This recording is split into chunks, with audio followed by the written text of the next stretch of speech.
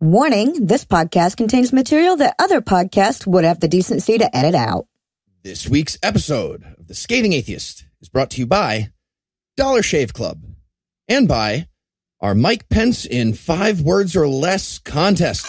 Today's winner is the illustrious friend of the show, Michael Marshall, who had platonic form of white guy. Done, Marsh. Form white guy, substance mayo. Anyway, the game continues. Tweet us your best five words or less using the hashtag Pence Scathe, and you could be the next winner. And now, the Scathing Atheist. Hey everyone, Pittsburgh Atheist here, and in light of my recent victory over the Pennsylvania Department of Transportation regarding my atheist vanity license plate, I can assure you we did, in fact, evolve from filthy monkey men.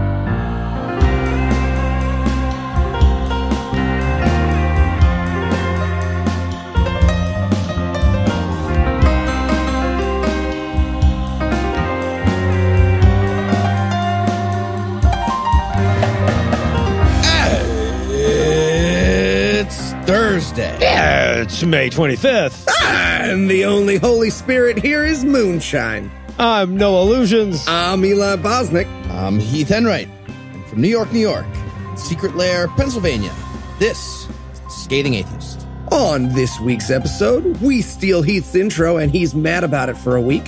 Unhurtful, Donald Trump refuses to say the words radical Islamic terrorism because he's a liberal cuck. And Betsy DeVos looks for a way to make her intelligence level the average.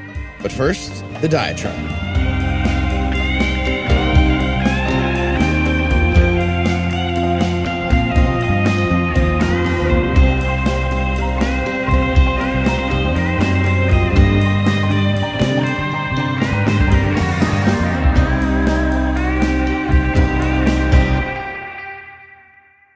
For a lot of years, I tried to make my living as a juggler. Now, lest you start thinking that this is going to be one of them stories of me learning my lesson about having silly, unrealistic dreams, I should remind you that I currently try to make my living as a podcaster. Yeah, I, I still juggle from time to time when I'm not podcasting. Of course, I mean, now that we got citation needed going, it'd be just as accurate to say I dive between Saturn and its rings when I'm not podcasting. Four shows doesn't leave a ton in the way of spare time, but once in a while, I still get a nostalgic hair up my ass to throw sharp and or heavy objects around my face for an extended period of time. Now, I, I probably don't have to tell you that trying to earn a living doing that kind of sucks.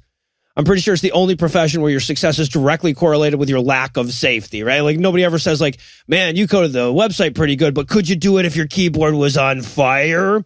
And on top of that, you, you got the drunken abuse of busker hating hecklers. You got starvation wages, the omnipresent knowledge that you're part of the least respected art form in the world that doesn't involve face makeup and the fact that there's no such thing as making it in your particular field. And I guess you can see why I found it so appealing. But of all the various annoyances and aggravations I dealt with as a busker, none were as annoying as the goddamn preachers.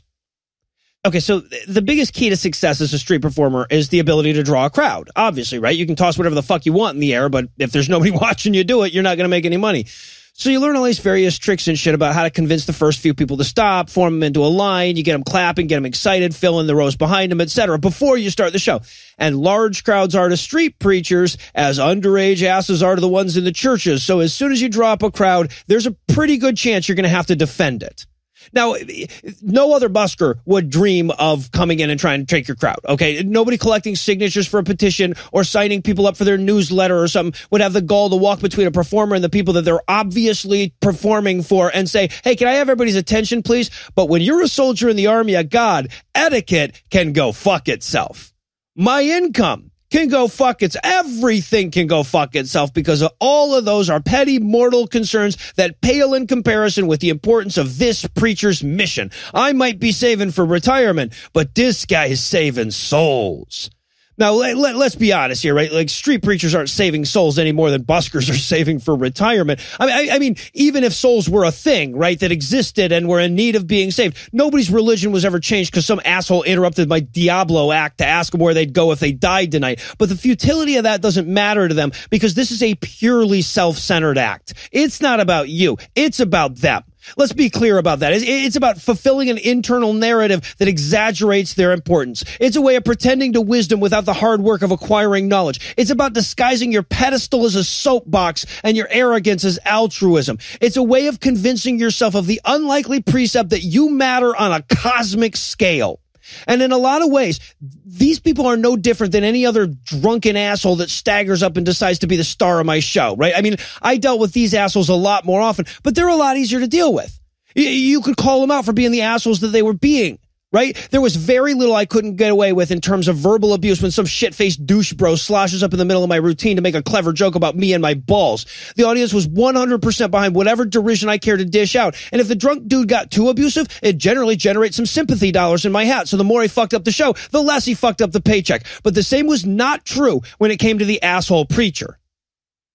Now, no doubt my view is skewed because I did most of my busking in Savannah, Georgia, and St. Augustine, Florida. But when the preacher came through doing the same fucking thing, the audiences wanted me to treat him with some amount of respect.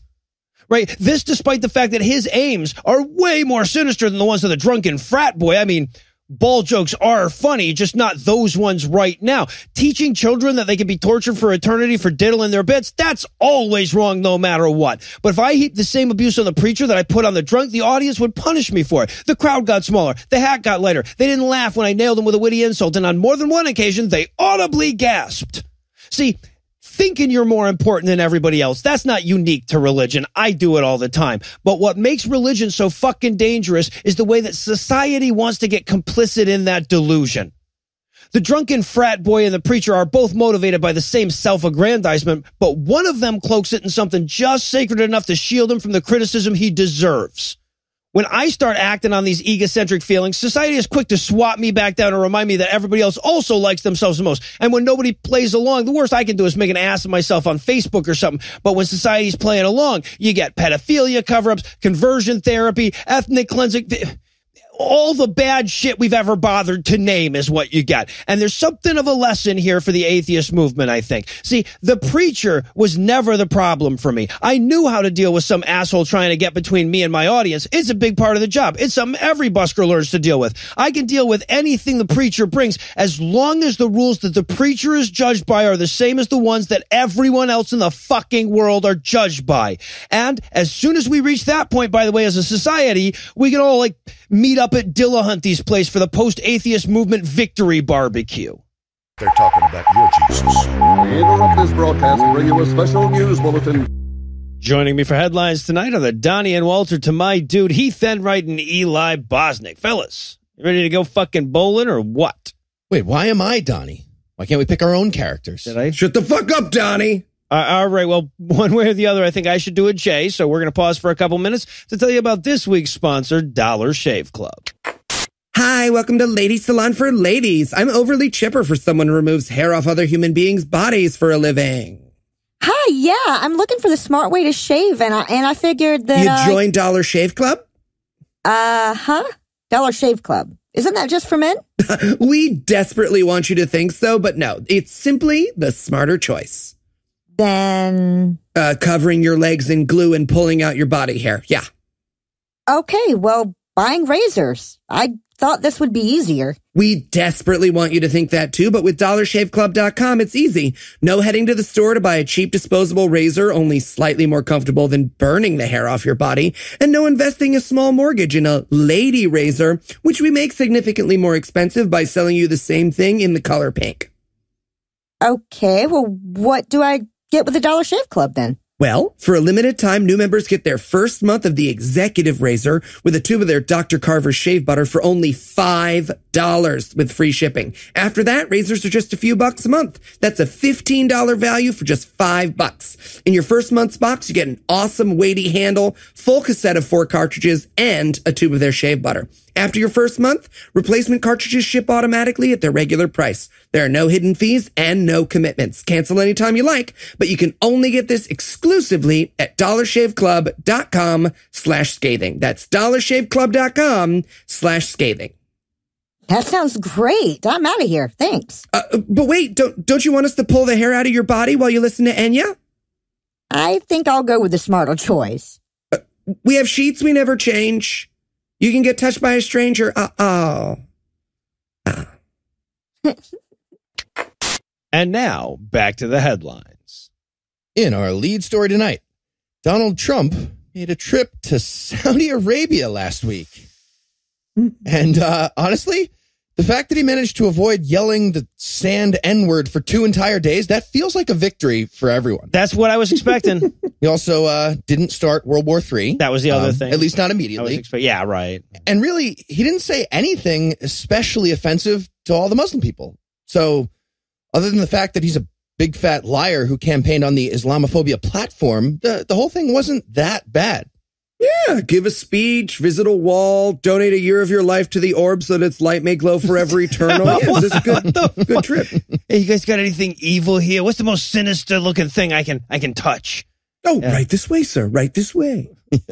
Now, get a little ahead of ourselves. Just to be clear, uh, I said the trip wasn't that bad. And, and yes, that's a resounding victory on the Trump curve. right. but there was definitely plenty of stupid. For example, he called Islam one of the world's greatest faiths. I have no idea what that means. And while I'm sure all the Muslim people loved like getting the bronze medal from Trump, I guess that's what he, it's just meaningless nonsense. And uh speaking of nonsense, he called Saudi Arabia a fabulous place and praised them for having some of the holiest sites, some of the holiest sites.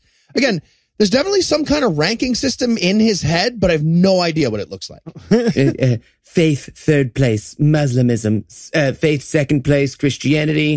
faith, first place, the call to the orb. hey, dude, the chamber with Mother Brain in it wasn't just going to open itself. Fair, fair. Okay. So moving on to my favorite part of the story. We already mentioned it briefly. The magical mystery orb. Ooh, I heard about this. Earlier in this story, yeah. As part of the trip, Trump visited the grand opening of a new facility in Riyadh that's allegedly going to prevent terrorism with computer surveillance. But not just computer surveillance, also a mystical item.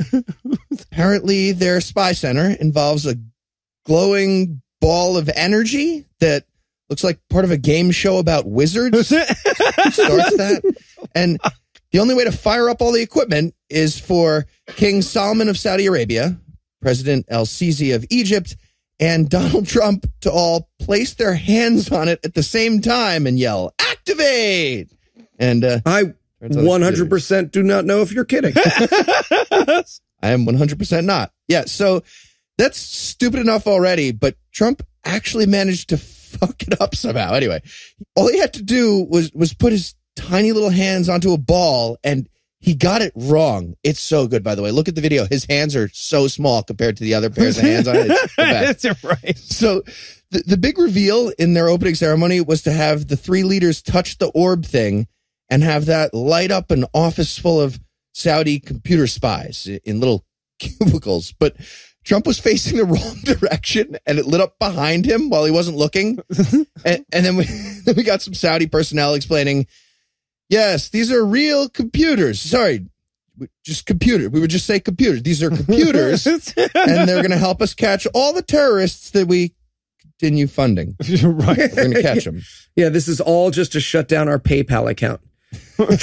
Trump's standing at the front. I don't mean to insult your wonderful country, but these aren't computers. They're a wall. Uh, a uh, very uh, blank Mr. wall. Mr. President, turn around. Turn around. No.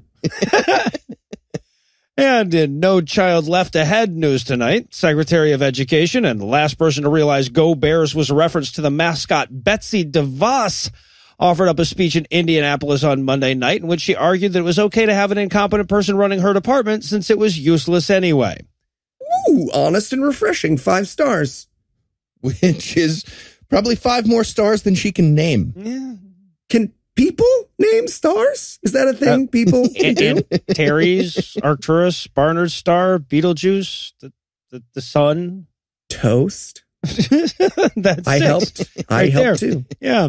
Now, she also assured her audience at the American Federation for Children Summit that when the Trump administration set about fucking all the defenseless people in this country with their new budget proposal, he wasn't going to forget the children. Mm, Trump and I have a lot in common on that. Moving on, moving on. So, uh, what I want to talk about is a specific Because I want to fuck a child. That I is would not like what I do. Thank you for the counterexample of what I want to talk about, Eli. But no, what I want to talk about is everything but that, pretty much in order from one to the last thing. Anyway, the but now it would be an element of the budget for the uh, Department of Education.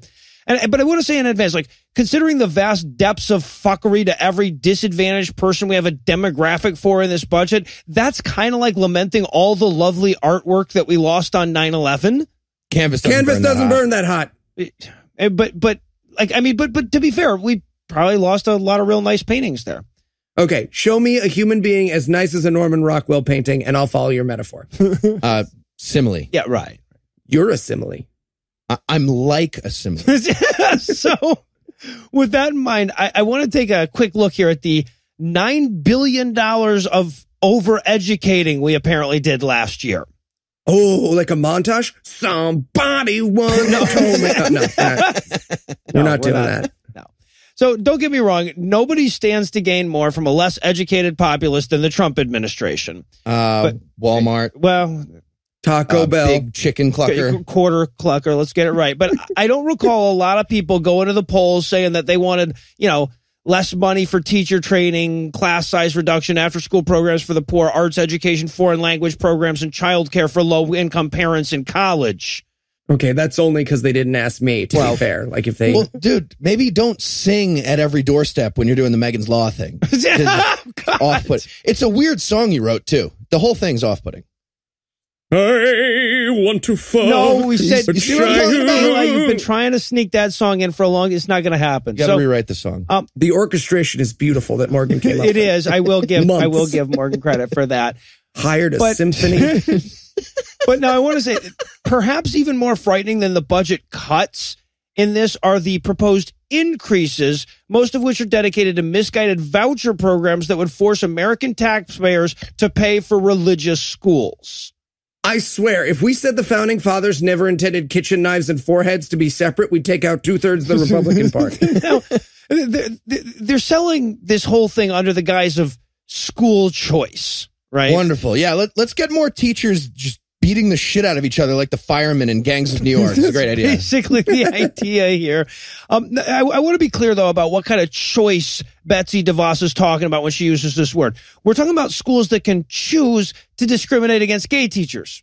Or atheist ones, or Jewish ones, or divorced ones, or whatever the fuck they want. They can discriminate against gay students. They, they, they, they can choose whether or not to teach kids about evolution. Schools that can choose whether or not to force prayer and Bible studies on your children. That's the choice that Betsy DeVos wants you to pay for. I mean, sounds like school choice if it means you get to choose by every definition, not a school, Well, right? that- Like, no, but know- that's the whole fucking point of the voucher idea. Yeah, that you can choose not a school.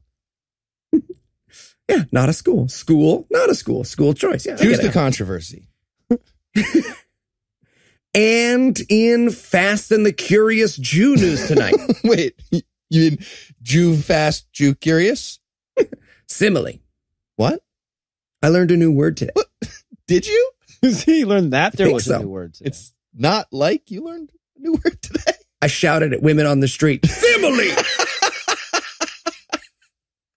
you got to be reading that word for that joke to be funny, but it's great. As our audience may distantly remember, because everything's a hellscape and tragedy is instantly forgotten now, a crazy person drove a car into Times Square last week, killing one young woman and injuring nearly two dozen other people, most of which were tourists, proving once and for all that literally nothing will make those people get the fuck out of the way. There's a video now. I'm just saying there is a guy who's just like, nope, no, sorry, car. Taking a picture. I've got to see the I M and got- M store. Amen, Eli. Thank you. New York driver's just like, okay, well, the space is clear now. I'm going to take it. It doesn't make me heartless. It doesn't mean I endorse vehicular manslaughter. It'd be stupid not to go in that space, though, now. Just Heath parallel parking on a dead Portuguese woman in a Statue of Liberty hat. She tried to head on park with her rental car. It's ridiculous. The cops helped me pull her out of her car and do this. Got applause. It was great. It was like the ending of Spider Man. It was fantastic. Crowd went wild. Everybody loved it.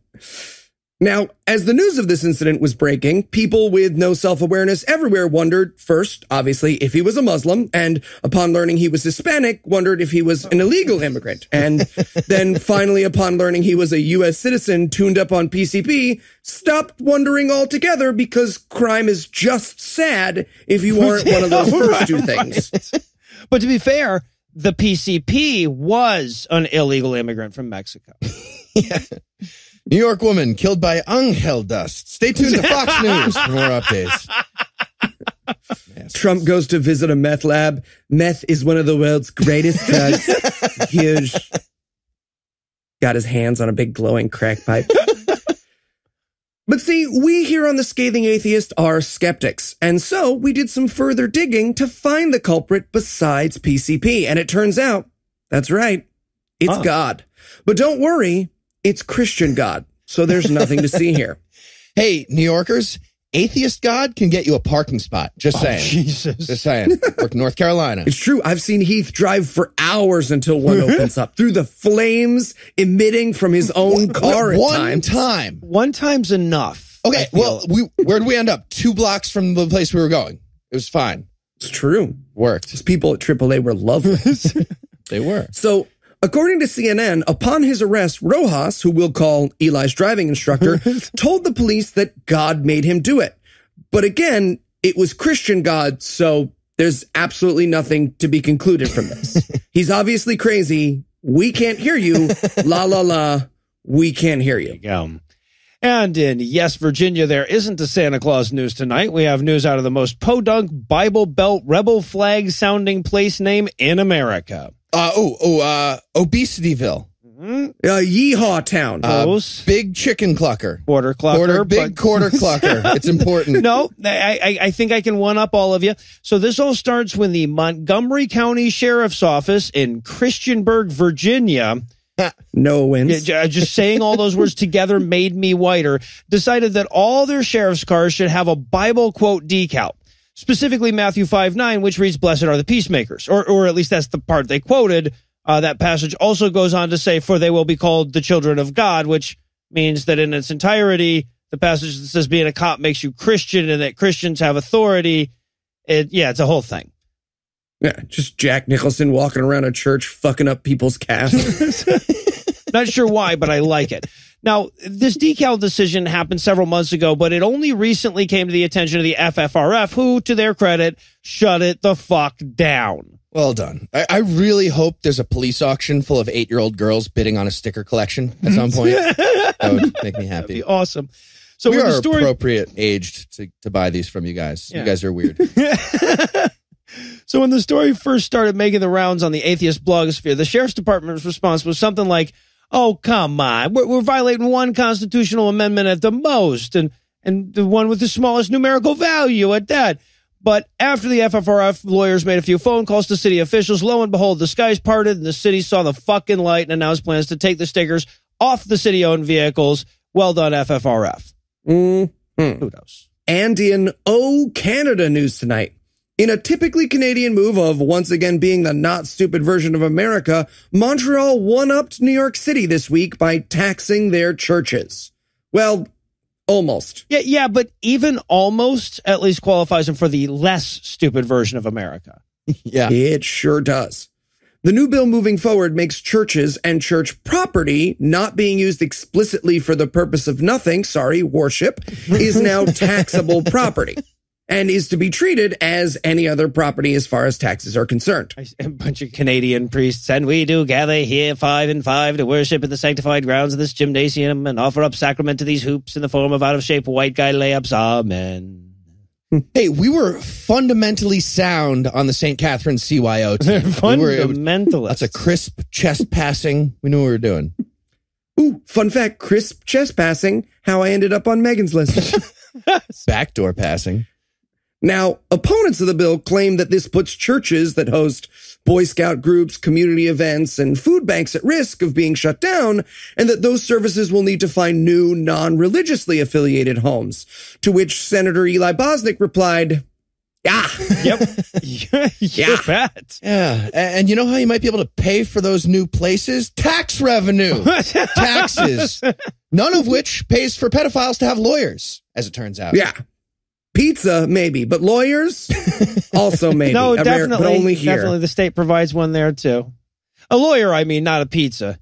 Shame though, because like every time I've been arrested, I really kind of needed the pizza more, at least in the moment. Absolutely. I have been guilty all of those times and hungry.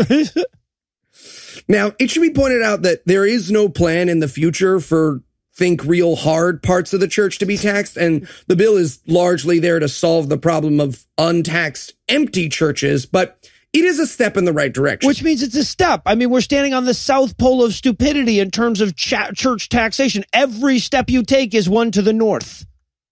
I mean, don't assume everyone who listens to this show subscribes to the round earth theory, but I get I'm, your I'm assuming. I'm never happy when I found out your opinion uh, about a thing. right? Just never. And for those who are thinking to themselves, sure, this sounds good, but how much money can this be costing us in the good old US of A? Well, according to a recent report by the Secular Policy Institute, the answer is $71 billion a year. or in layman's terms, a yearly subscription to Asa Akira's OnlyFans profile for every single American with money left over. or even better, 71 crazy billionaire remakes of Christian Oh, there you go. That's more than half of what we've done so far. Also, roads or schools or healthcare or something. But every American could see Asa's boobs, guys. It's like, get it like a social security card. I'm just saying. And while I blow Eli's mind by showing him 23 places to see Asa's boobs for free, uh, Yeah. And uh, one of them being my porn phone right now. he, he has a dedicated porn phone. You phone. guys don't have a dedicated And- porn phone? What the fuck do you use your real phone? Well, while Crazy. I get one, we're going to pause for a quick break and hand things over to my lovely wife, Lucinda. It's not the same. She can see your comments. She says hi. It's great. This is a weird free ad. I don't. She's already paid me with her boobs. A man wrote the Bible. A whore is what she was. If it's a legitimate rape, makes you a slut, right? Cooking can be fun. Hey, I'm proud of a man. This week in misogyny. I don't know that there's a right reaction in the face of a terrorist attack. That's kind of the point, isn't it? You sow chaos, leave people afraid, make them overreact. If there was an obvious right reaction, they wouldn't be terrorizing correctly. But just because I can't tell you the right reaction doesn't mean I don't know the wrong one when I see it. For example, my asshole of a husband spent Tuesday morning sending all of his friends in Manchester condolences for their city having to suffer through such a horrible concert. Definitely the wrong reaction. But it pales in comparison to the wrongness of lady hating basement dweller Theodore Shoebat, whose reaction was to point out that the victims were mostly sluts and whores anyway. Old Never Gets Head Ted started off his video reveling in the deaths of 22 innocent people before labeling the victims as sodomite lovers, adding, quote, they, the sodomite lovers, that is, go to these concerts dressed up as whores, dressed up as sluts. They're pro sodomite, they're pro divorce, they're pro infidelity, end quote. I guess the and therefore deserve to be killed by a shrapnel laden explosive device is just assumed. But enough of me bragging about my husband being nominally less of an asshole than Theodore Shoebat. Let's return stateside for a story out of Christian school in Maryland called the Heritage Academy.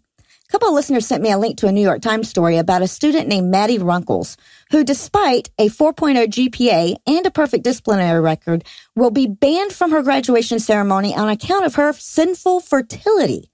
She was also removed from her school council position for the same reason. Now, what the school is saying here is don't have sex, but the message they're sending is get an abortion. In a misguided effort to defend themselves, the school released an official statement that referred to her pregnancy as, quote, an internal issue about which much prayer and discussion has taken place, end quote. Again, that's their official statement, not a leaked transcript. They're defending their misogyny by highlighting how obsessed the entire school is with the recreational history of a teenage girl's vagina. But lest I be accused of only bringing you the bad news, I want to close tonight on a useful piece of advice for all you ladies out there, but not a piece of advice for me. I mean, what the hell do I know about advising women? I don't even have a penis. No, if you want reputable information on the dangers women face, you go to the same place you go for reputable information on any other subject, Fabio. And what does Fabio advise the ladies to do? Why, get a gun quick before you're raped by a California felon. Of course. This suggestion came during an interview on NRA TV where Fabio was offering up his opinion on Second Amendment law. Is there anything this guy isn't an expert on? When he pointed out that all the women should arm up like the third act of a Schwarzenegger flick because California Governor Jerry Brown is, quote, releasing all the rapists. Now, the actual law he was talking about was Proposition 57, which increases parole and good behavior releases for some felons convicted of non-violent crimes, which Fabio has interpreted to mean, in his words, all the pedophiles, child molesters, and rapists. So look for a later update where Fabio argues that he raped all those kids non-violently, I guess. And with Fabio kid fucking joke checked off my bucket list, I'm going to hand things back over to Noah, Heath, and Eli. Thank you, Lucinda. And in Please, Sir, May I Have Some Less news tonight, Texas continues to punish our generations for the craven territorial expansion of America's 19th century ancestry this week by being a miserable shit stain of a state.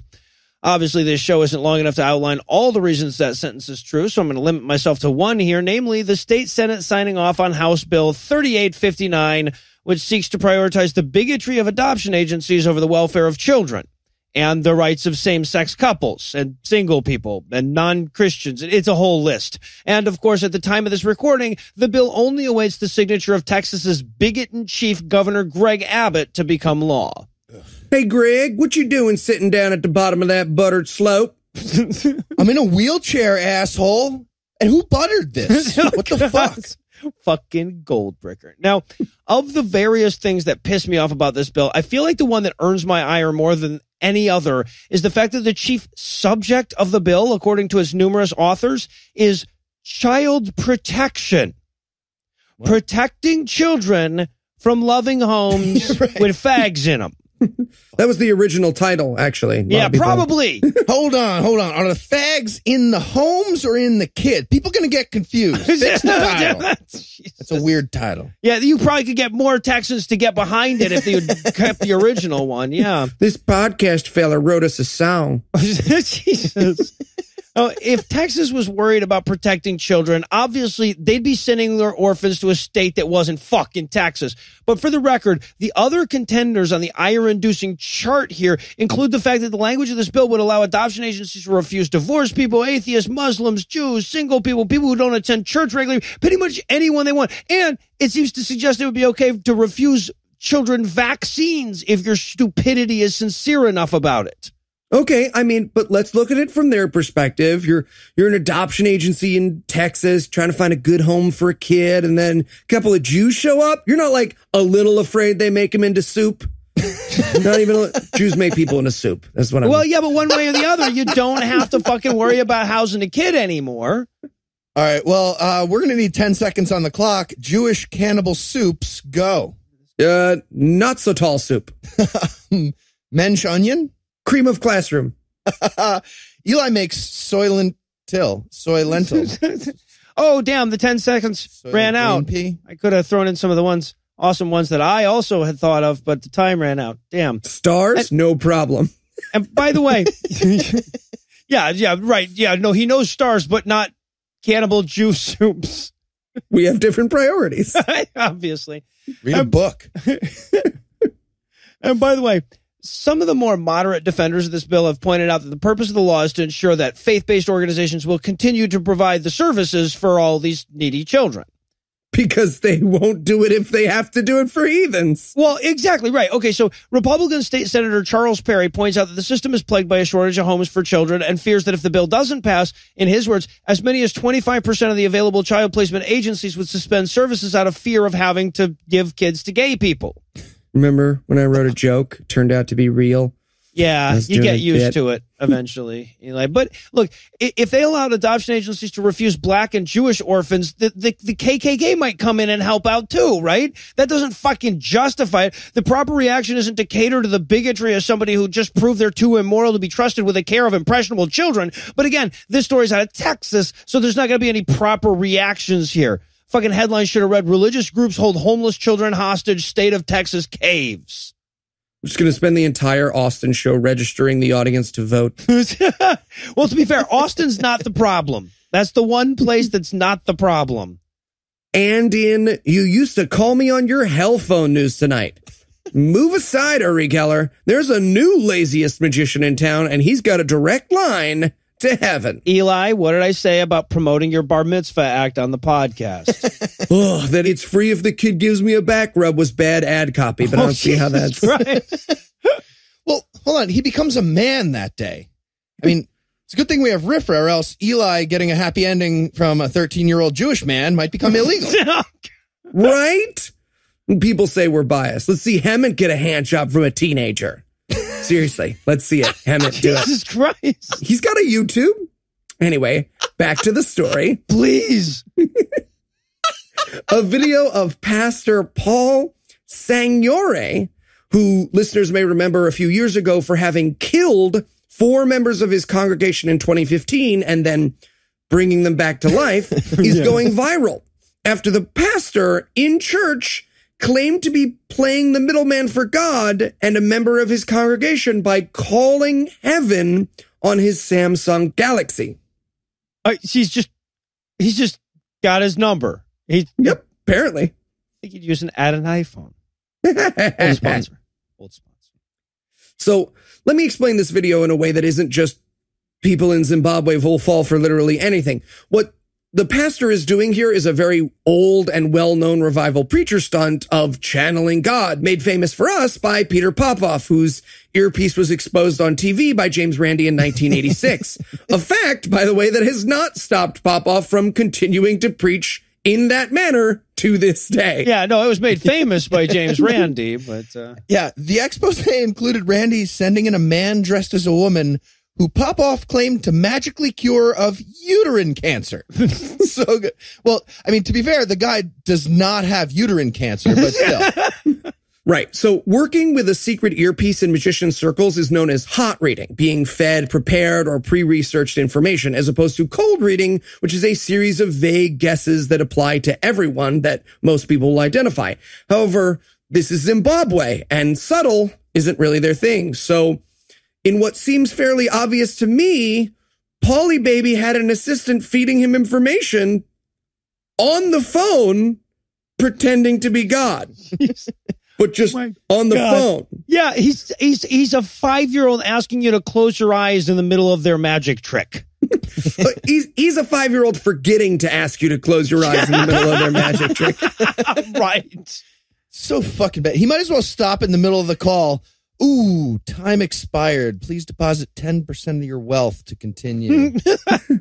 And again, uh, listeners, you must watch this video because Oh, yes. he has a hype man, literally, He does. who every time he reveals something goes like, oh, I am getting him for every wedding and bar mitzvah I ever do again. The hype man. So yeah, uh, this may be the sloppiest religious hoax I've seen for a while, or, or God is a better boyfriend than Heath. One of those things. I love spending minutes with you. I don't know. What and finally, tonight, moving on from the Spank of America file. Google that. Show it to your kids. You know the routine. Religion continues causing adults to abuse children.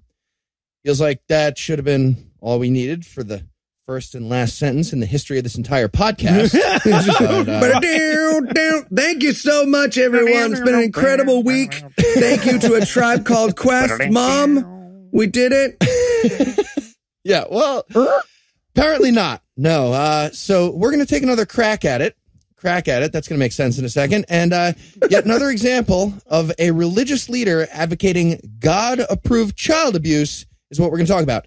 This time it's Pastor Roger Jimenez who recently told his followers that God created kids with asses because he wants grown ups to spank the asses. That's Literally I- what he's I- he created Pastor Roger Jimenez with an ass too. What's he asking for exactly?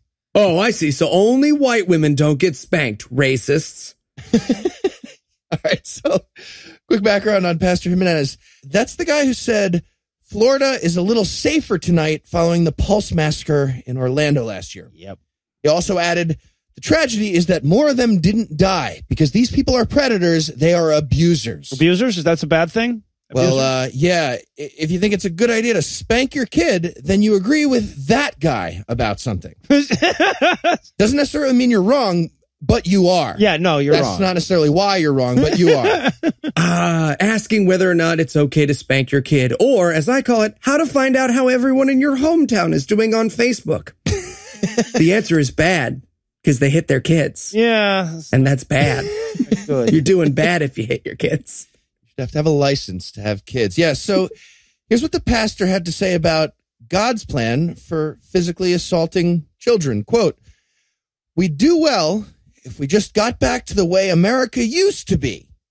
Not a great start. Never agree. Not a great start. When mom stayed home and children got spanked, I'm talking about taking that child, pulling down their skirt or their pants. Yep, that's the end of that sentence. Oh, that's Oh, as all as it. Probably want to finish that thought next time, Pastor. Whatever. Oh, I'll do it. I'll Nope, do it. Anyway, moving on. Continuing the quote. Slowly. Continuing the quote. sure. Moving on. Eli said nothing. God gave children an area in their body that is extra padded and has a whole lot of nerves. End quote. Just saying, Pastor Jimenez's face sure has a lot of fat on it. and nerves. also nerves. Sounds like he needs to take his licks.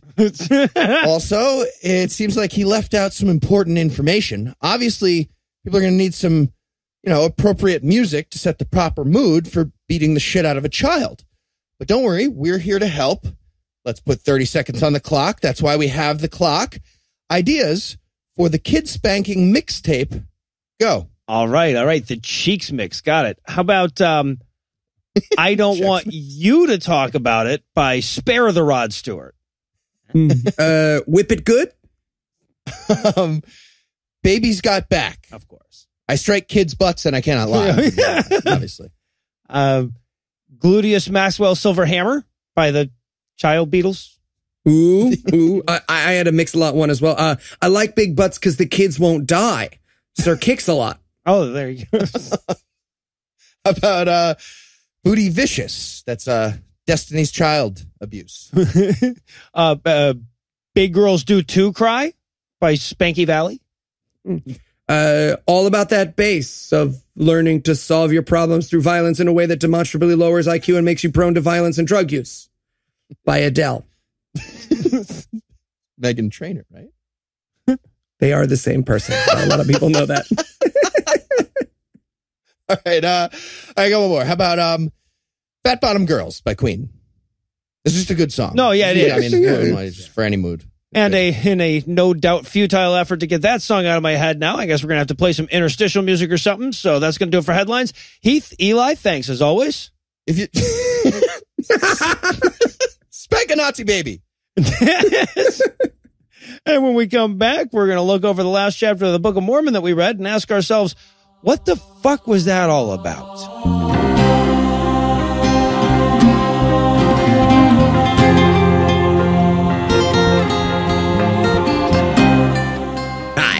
I'm Tony D. Coming to you from Podcast, Podcast, Podcasts on 5th and Main. You like live tours? We got live tours. Tickets for New York City, Seattle, Austin, and Salt Lake City live shows right now in the show notes of the episode. You like podcasts? I hope so. This is a podcast. How about the new show, Citation Needed, where the scathing atheists team up with our buddies over at Cognitive Dissonance to roast the world. It's like stuff you should know, but with swearing.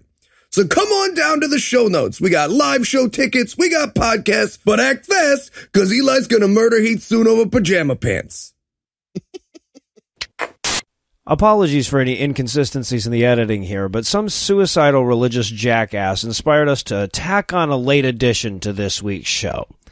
See, Manchester is the only place in England I've really been, and I know four days at a hotel in a place doesn't warrant any extra, like, frequent visitor morning privileges, but in addition to being home to the world's premier skeptical conference, QED, Manchester is home to a number of friends of the show and personal friend of all three of us, Andy Wilson, occasionally of the Incredulous podcast.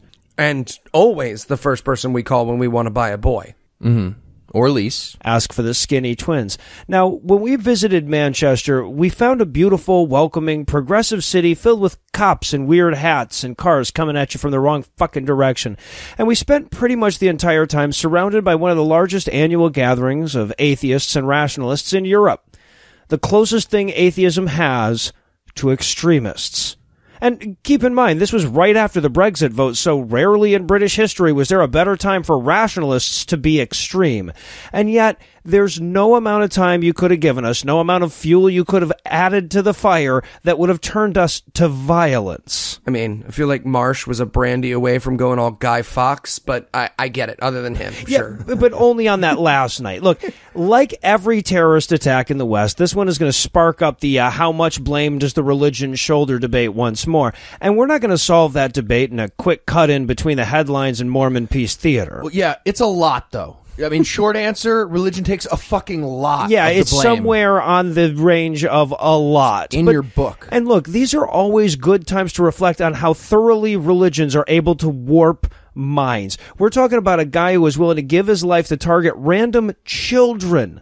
It's hard to imagine a non religious narrative that convinces you that you're the good guy in that situation. Now, we're atheists, so we don't have prayers to offer Manchester. Of course, I'm willing to bet that our not prayers will be exactly as effective as the prayers the religious people send, but we still felt like we should send something to our many friends and listeners in Manchester. So, in solidarity with you tonight, I've asked Eli and Heath to insult Abu Bakr al Baghdadi, leader of ISIS and man now claiming responsibility for the attack, in as British a way as they could manage. Abu Bakr al Baghdadi enjoys Marmite. and he drinks Earl Grey tea with milk like a goddamn pedophile. Okay, too far, Heath. They just blew stuff up. Don't do that. So does Muhammad. no more ads. No more ads. No more ads. Heath, Heath, Uh, what what are you uh, doing, bro? uh, I'm protesting the ads. What, what, what are you protesting? The the ads on our show. I hate them. You guys are sellouts. Okay, but Heath, you don't have to hear the ads on our show. Oh, I, I don't have to hear them. No, man. By, by pledging as little as a dollar an episode on patreon.com slash scathing atheist, you can help support the show and in return get an extended early commercial free edition of every episode. Wait, you saying it's longer and it's commercial free? Yeah, man.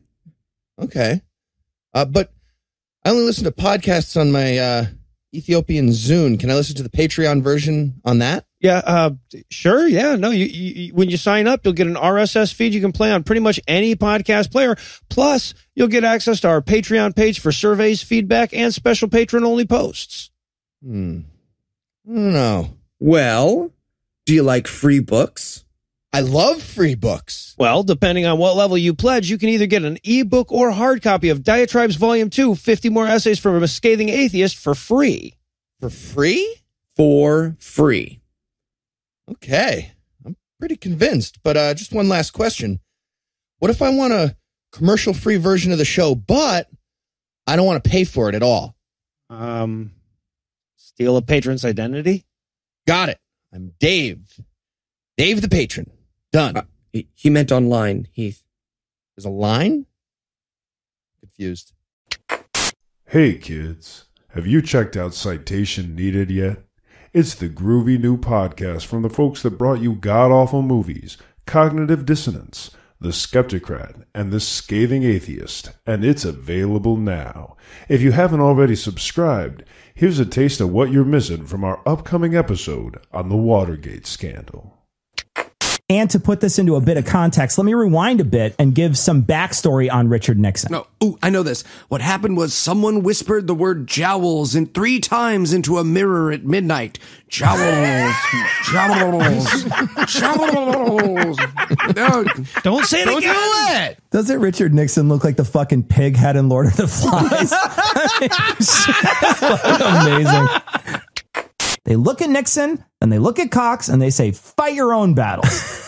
Well, So wait a minute. Had of. that worked, it would have been a Cox fight. I'm just oh, saying. The defense would have been Cox blocking. Yeah. Oh, nice, nice. It's like when people tell you that they're not a racist. You know, it's like only a racist would say that, Heath, or whoever I'm, it is that I'm theoretically responding to in this non-specific how, example. How would you rank the top five races then? Whatever. It doesn't matter. It doesn't matter. That's not the point. oh, don't bomb brown people we're not at war with. Racist. He was a great president. And that is where Trump's got us, y'all. There is no way we're ever going to prove that he ever knew anything at any point. Blameless. I never said Israel.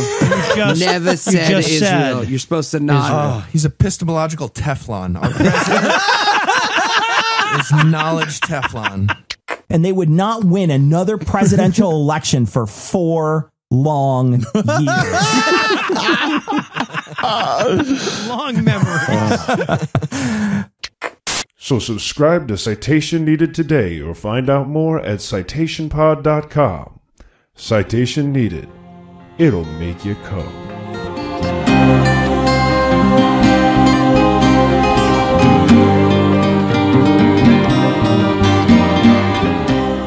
Last two Book of Mormon segments have sadly not lent themselves to reenactment. And while I'll freely admit we were starting to fear that Ben Carson reading Isaiah was about to make up a quarter of our show's C segment this week, we finally have some story to go in the storybook. So, with that said, we're pleased to reintroduce Mormon Peace Theater. Last time on Mormon Peace Theater. I'm Nephi. I'm the best. Where's brothers? Brothers, Where's- we're, we're bad. Don't Don't kill me. Gonna. We'll kill the fuck out of you. Have you all read Isaiah? Yes. No? Okay, here we go. Boo. And now we rejoin our heroes 50 years later. Hi, I'm Jacob. Uh, my brother Nephi said I could do some plates, but he took all the good stuff. So, um, milk, eggs, butter, uh, seriously? cherry. Yo- you said I could. Fine. Jesus. Yeah, him too. Jacob, I, Nephi, am dying. So make sure everyone doesn't go all shitfucker when I die, okay? No problem, brother. Blech. Seriously, we don't even get to This fucking kill this guy and we all this tried time? 800 times. Sin, Rum, sin, rum, sin. Okay, everyone listen up. I'm in charge now and God, well, God, God is real TO'd that you guys are all having multiple wives. This is gross. Nobody do that. I guess, I guess if I could really centralize the message of what I'm trying to say here, it's that more than one wife is gross, asterisk. I, I'm, I'm, I'm sorry, did you just end that with uh, asterisk? If you guys don't cut it out, you're going to end up black. Jesus, dude. Wait, uh, hold on a second. Wait, are you Nephi? No, I'm someone else. Weren't now. you? That seems confusing. We have four cast members. Okay, now that I have your attention, I'm going to describe all all the fornication and, and sin stuff that you're not supposed to do. No So hand jobs, who no are you again? no rusty I don't know, trampones, like no a random kitten mootons, ancient Mormon no now, Egyptian think? Okay, but then who am I? no Am I still one of the brothers? That No, I think the, the Lamanites all is turned black, so we're like the, no the Nephites that are being yelled at, kickers, but no butt we're not the stuff, bad no guys. stuff, Someone else- Jesus, fuck, ear you, stuff. You need a no goddamn map and a compass jobs, with this no book. Yeah, tell me jobs, about it. No beating off the buttons, and no putting your boobs up someone's butt. Oh shit, he's um, done. Uh, these plates were made by Nephi. Okay, well, Wait, wait. now I'm lost again. What? I what's hate happening? this fucking book. Sorry, my arm got tired. Carving plates, hell of a thing. Let me tell you, Let me see him. go fuck yourself. Okay, now I have a very important fable to tell each of you about salvation. It is the story of the olive tree.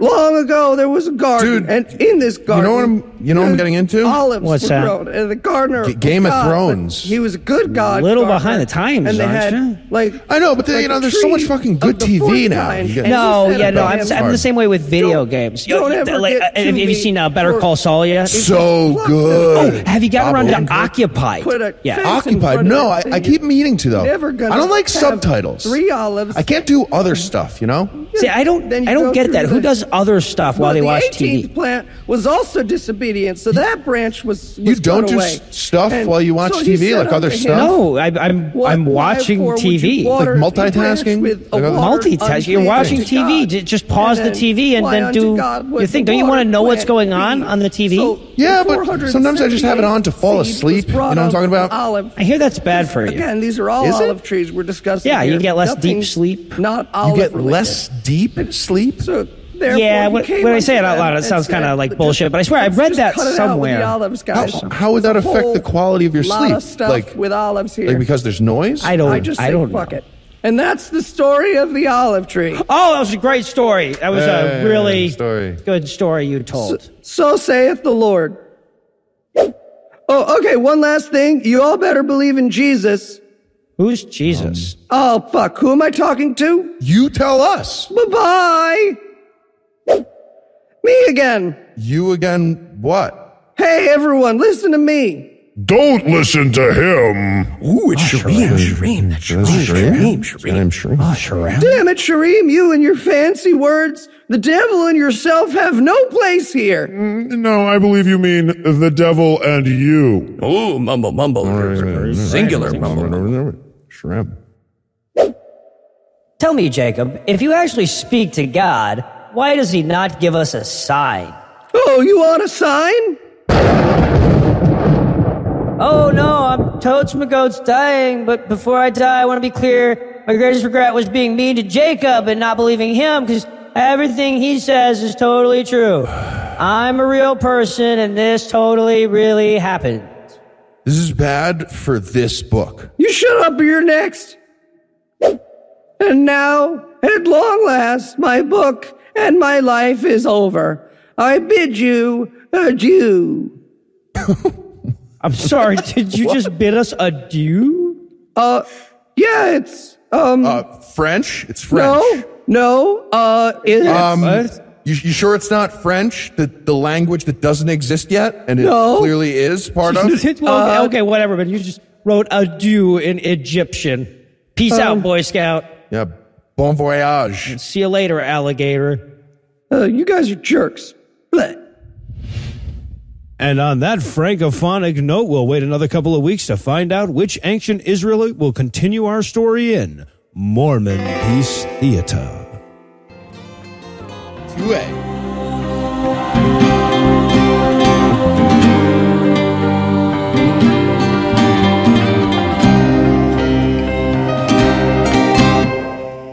Before we just give up and fake one tonight, I want to remind everybody one more time that we've got a new show for you to check out. The Citation Needed podcast combines the latest and greatest in dick joke technology with the hosts you know and love from this show and the ones you know and love considerably less from cognitive dissonance. Each week we pick a new interesting person, event, or invention, and we see how many times we can make Cecil edit us as we learn more about it. Again, that Citation Needed now available on a podcast aggravator near you, and I mean like really near you. You can also learn more about the show at citationpod.com, which you'll find linked on the show notes for this episode, but download now because these MP3s are going fast.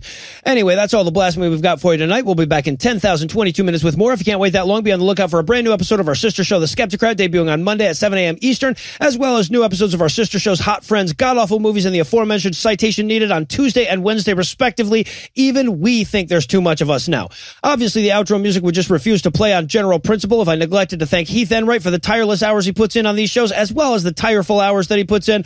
I need to thank the lovely Lucinda Lugeons for keeping me sane in a world that seems hell-bent on denying her that accomplishment. I want to thank Eli Bosnick for eventually conceding that the Secret Service would not have thought that was funny. I also want to thank Pittsburgh Atheist for providing this week's Farnsworth quote. In his defense, he sent me that back in October, so the events weren't as recent as the clip made it sound, but still, kudos, bro. And sorry, I didn't listen to that clip seven months ago. But most of all, of course, I need to thank this week's most fact-based philanthropist, Edward, Alex, and Atheist Duck, Skip, JT, Ivan, Easton, Sinjin, Ross, Son, Michael, Eric, Kyle, and Benjamin. I was running a little behind this week, so I asked Eli to whip up some clever compliments for me. Let's see how he did.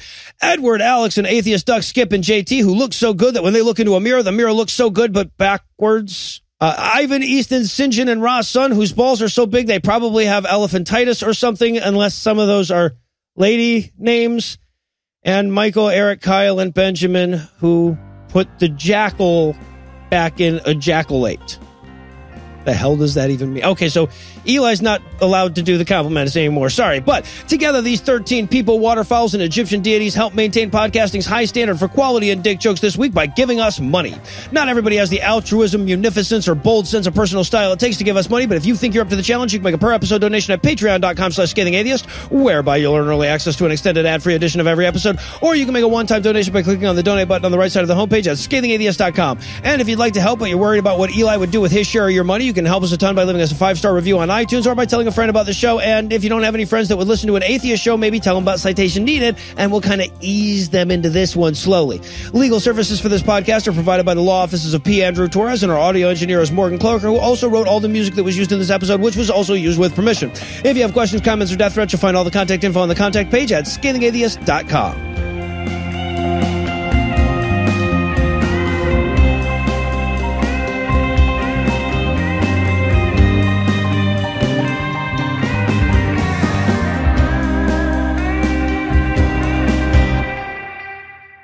The key is this joke was great, and everyone's gonna love it.